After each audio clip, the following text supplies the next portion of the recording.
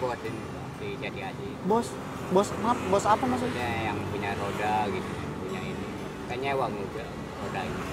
Oh alah, roda juga nyewa. Nyewa itu. Dua mata saya, hidung saya satu. Mana?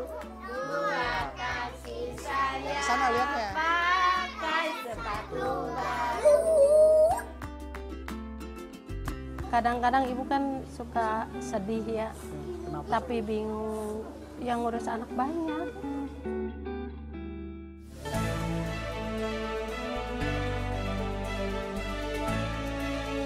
Sebaik-baiknya manusia adalah yang paling bermanfaat bagi sesama manusia.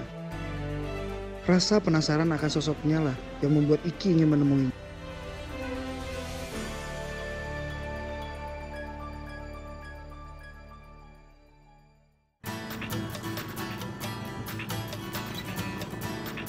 Iki janjian sama supir Iki sendiri untuk ketemuan di salah satu titik, tapi di pertengahan jalan nggak sengaja Iki ketemu salah satu bapak sedang istirahat di pinggir jalan, bawa gerobak dan banyak kayu di gerobaknya.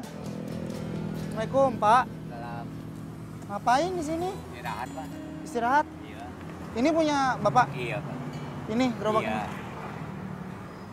Apa ini tuh gerobak ini tuh kayu-kayu bekas apa? Bangunan pak. Kita tidak buat kayu bakar pak. Ini Iya. di diapain biasanya? Jual lagi pak. Jual. Jual lagi. Pembakaran Dijualnya ke Pak. siapa kan ini bekas Pak? Iya buat pembakaran bata pak. Oh, dapetinnya dari bekas-bekas bangunan. Bangunan iya. Nyari dong berarti. Nyari pak. Keliling pak. Dari jam berapa dari sini Bapak? Jadi jam sebelas pak nunggu di sini pak.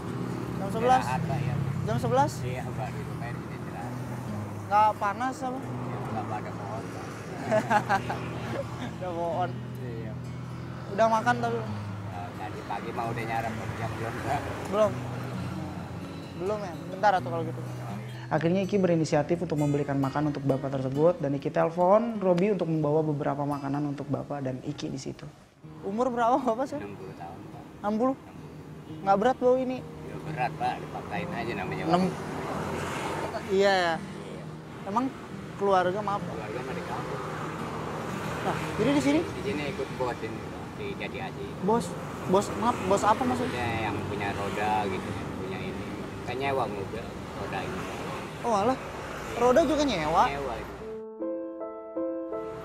Lima ribu sehari. Oh iya.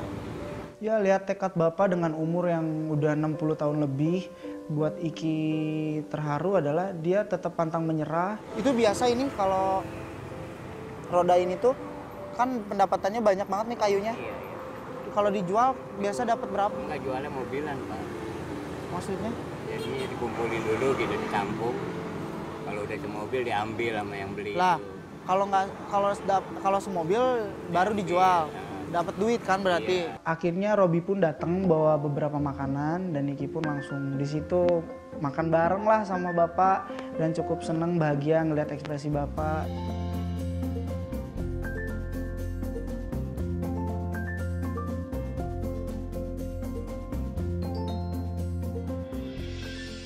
Ya, hari ini alhamdulillah kita bisa kelar makan apa ya berdua. Gimana? Kenyang alhamdulillah.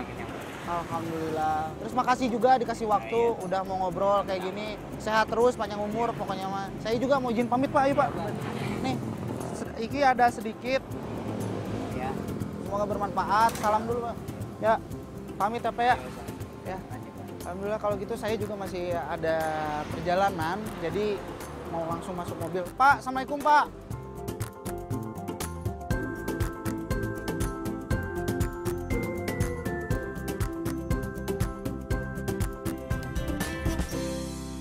Eh, Bibi itu Bu, Bi. Tuh, ada yang sapu-sapu, muter balik aja, muter balik. Karena Iki kepikiran kalau ada masih ada persediaan makanan yang tadi, akhirnya Iki berniat untuk berbagi rezeki untuk ya seenggaknya memberikan makanan tersebut kepada ibu tersebut.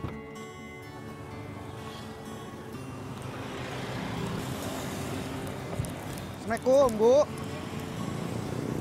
Lagi sapu-sapu ini teh? Kenapa? Lagi sapu-sapu? Ya, Oh lah.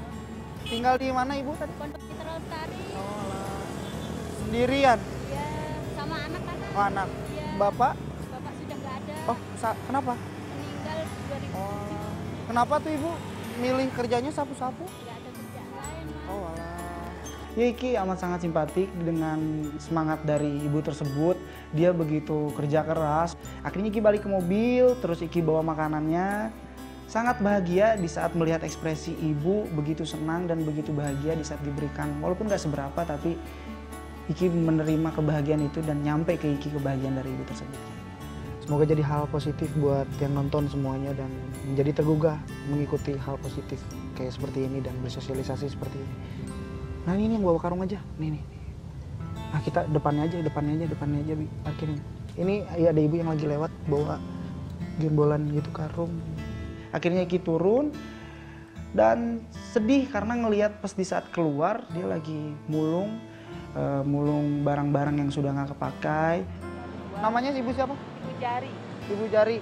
Kenapa tuh nggak milih kerjaan yang lain ibu teh daripada ini? Kan ada nggak ada yang ngajak, Oh alah. ada yang nyuruh. Dari pagi. Iya. Terus ini tuh digimanain ibu ngambil-ngambil ini? dikumpulin Terus, di rumah. terus Ntar kalau udah kumpul baru dijual. udah punya anak? Punya tiga, Tik- Umur udah, gede. udah SMP satu, yang udah nikah satu, tapi di kampung. Kenapa tuh nggak mendingan anaknya aja yang kerja kerja kerja? Ibu mah di rumah aja dia. Tangannya masih kecil. Oh. SMP baru kelas 1. Terakhir bontot SD kelas 4. Oh alah. Ibu sosok yang sangat luar biasa tegar, luar biasa tidak begitu menyerah menjalani hidup. Di matanya begitu ingin memperlihatkan kalau dia bekerja keras, apa pun yang dia lakukan demi keluarganya. Udah makan belum? belum Udah bentar, Bi. ya udah biarin aja mas Eh nggak apa-apa tadi kebetulan beli. Karena Iki masih ada niatan untuk berbagi rezeki, akhirnya Iki membagi kembali makanan untuk ibu. Nih ibu, nggak kebetulan emang tadi belinya banyak nih. Makasih Jadi ya, Mas, ya. makan dulu nih. Ya udah, makasih. Makasih ibu, salim dulu. Ya sok hati-hati. Ya, makasih. Sehat ibu panjang umur. Alhamdulillah sama ibu ketemu. Semoga eh, apa pun niat kita, Iki bersama tim diberikan kelancaran terus sama Allah dan juga semoga ini membuat kalian semua yang di luar sana tergugah hatinya ingin melakukan hal positif seperti ini. Terima kasih kalau gitu. Ya, ibu, mohon pamit Ya, ibu. makasih. Mari kalau gitu.